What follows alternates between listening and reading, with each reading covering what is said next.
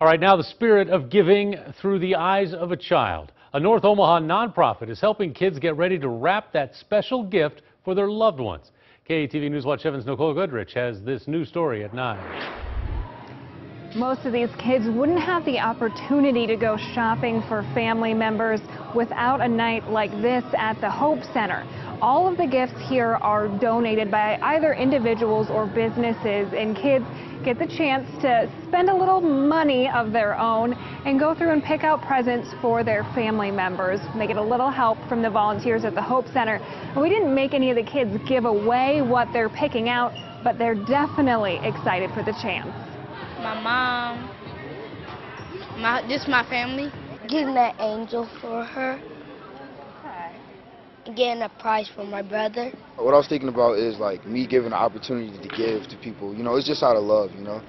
About a 100 kids are expected to shop here at the Hope Center in Omaha, and they say another 60 will go through a similar event at the Hope Center in Fremont. Nicole Goodrich, KETV News Watch 7.